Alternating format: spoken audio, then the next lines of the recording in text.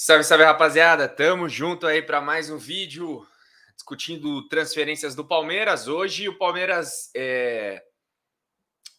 Eu não sei se ele fica mais perto de ter o Yuri Alberto, mas com certeza ele é, tá mais forte na concorrência pelo jogador, né? Porque o Zenit, que era um outro clube interessado, né? Clube da Rússia, tinha feito uma proposta de 18 milhões de euros, o que dá 116 milhões de reais pelo atleta de 20 anos. Mas o Yuri Alberto não se interessou em ir para o Zenit, né? Ele não se empolgou em, em deixar o Inter para ir para o futebol russo.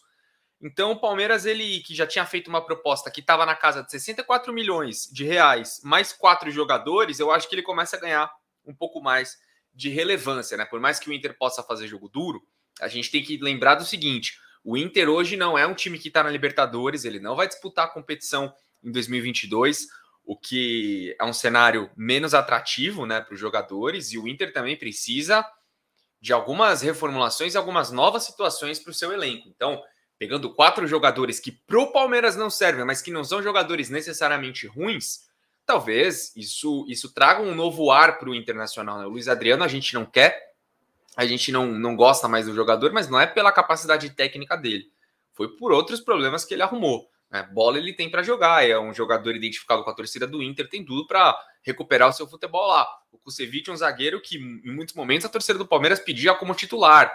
Né? O Matheus Fernandes é um, é, um, é um cara que ainda não teve muita oportunidade né, de, de mostrar o seu futebol de novo desde que voltou, mas é um jovem também que a gente é, esperava alguma coisa. E o Vitor Luiz, um lateral esquerdo aí, que para ser reserva, para compor elenco, eu não acho que seja dos piores. Então a proposta é sim atrativa para o Inter, que precisa renovar o seu elenco, que precisa de é, novas situações para quem sabe ter um 2022 melhor. E também é interessante para o Yuri Alberto. Se o cara não está afim de ir para a Rússia, isso talvez já indica que ele não está só preocupado com dinheiro, que ele está preocupado sim com o seu futebol, com aparecer, tá, é, é, uma situação mais relevante, né, de ser protagonista em algum clube. Então talvez isso possa aproximar o jogador do Palmeiras. Um movimento que eu tenho é, prestado bastante atenção na nossa torcida e que tem sido, na minha opinião, muito legal é que o pessoal parece que está entendendo que assim querer não é poder, né? Por mais que todo mundo estava sonhando com Cavani, quando você chega na,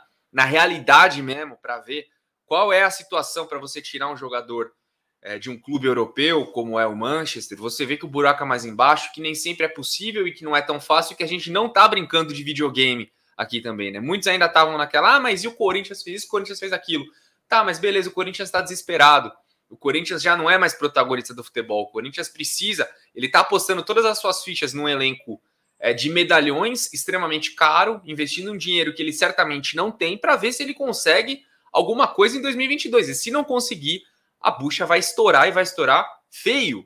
Né? Já o Palmeiras, ele já está muito mais estruturado, ele já está fazendo contratações, ele já está ele já está com um elenco bom, né? Um elenco de, de bons jogadores, ele está buscando é, situações mais pontuais. E o Palmeiras, a Leila, todo mundo disse muito claro: vamos investir no centroavante e vamos investir pesado. Ou seja, o Rafael Navarro que está encaminhado veio de graça. Agora, caso o Palmeiras é, continue atrás do Yuri Alberto, vai investir uma bela grana, ou tente um acordo pelo Castelhanos, vai investir uma bela grana. Então, o Palmeiras busca uma contratação de impacto mas que não só traga resultado para dentro do campo, porque se vem o Yuri, se vem o, o Tati Castelhanos, eu acho que são dois jogadores que, para os atacantes que a gente tem, eles já sobram, eles já seriam titulares no Palmeiras mesmo com pouca idade, né? já são titulares aqui, e ainda podem dar retorno no ano que vem, e eu acho que isso pode dar muito certo, eu acho que é um planejamento que é muito interessante, mas enfim,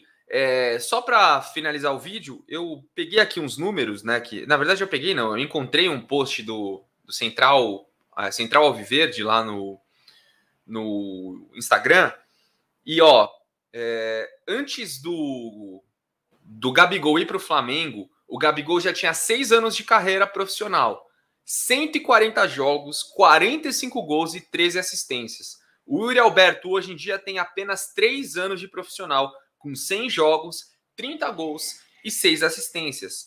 Né, então, é, o Gabigol ele já tinha um, um tempo maior de, de, de, profissional, mas ele ainda não era um atacante extremamente relevante no cenário nacional. Quando ele vai ao Flamengo, Aí ele começa a fazer muitos gols, ele desperta como um dos grandes atacantes do Brasil, porque o Flamengo criava demais. E o Palmeiras também cria bastante. Né? A gente levantou números aqui ao longo dessa temporada que o Palmeiras criava um volume de, de chances muito parecidos com o do Atlético. Só que se você for buscar os, os, os artilheiros do Palmeiras nesse ano, você não vai encontrar nenhum homem de área, porque os nossos homens de área fizeram pouquíssimos gols. Né? O Veiga fez bastante, o Breno Lopes até que fez bastante, o Bigode lá no começo do ano, mas o Bigode, enfim, a gente já nem tá mais no Palmeiras. Né? Então, é, os atacantes ali, Davidson, Luiz Adriano, até o Rony, que jogou improvisado ali grande parte da temporada, eles não conseguiam colocar a bola para dentro, eles não tinham bons números.